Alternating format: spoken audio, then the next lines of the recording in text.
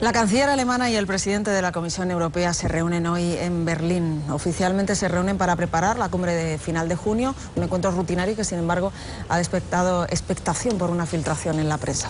La Unión Europea, el Banco Central y el Eurogrupo estarían trabajando en un plan revolucionario para salvar la Europa del euro.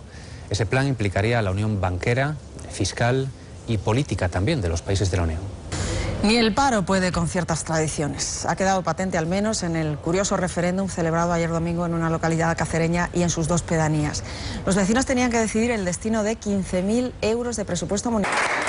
El tiempo afecta a la salud más de lo que parece. Según estudios recientes, las tormentas favorecen las anginas de pecho, el viento favorece las migrañas y el frío los infartos. Es posible que en adelante eh, la previsión meteorológica nos interese para algo más que para saber si podemos pasar un día en el campo o en la playa.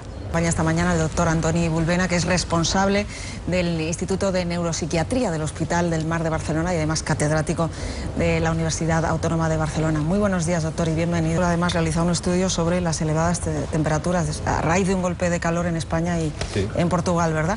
¿A qué conclusiones llegó? Bueno, efectivamente, esos días...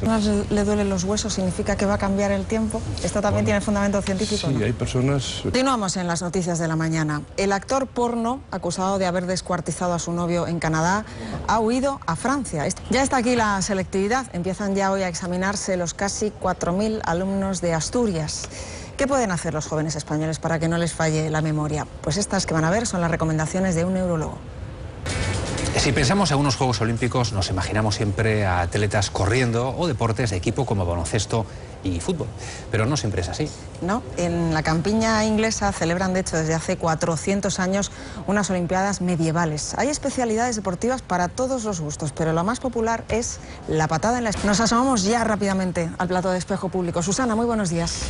Terminamos. Gracias como siempre por acompañarnos en estas tres horas de información en directo. Aquí les esperamos como siempre mañana a partir de las seis y cuarto. Buenos días. Hasta mañana.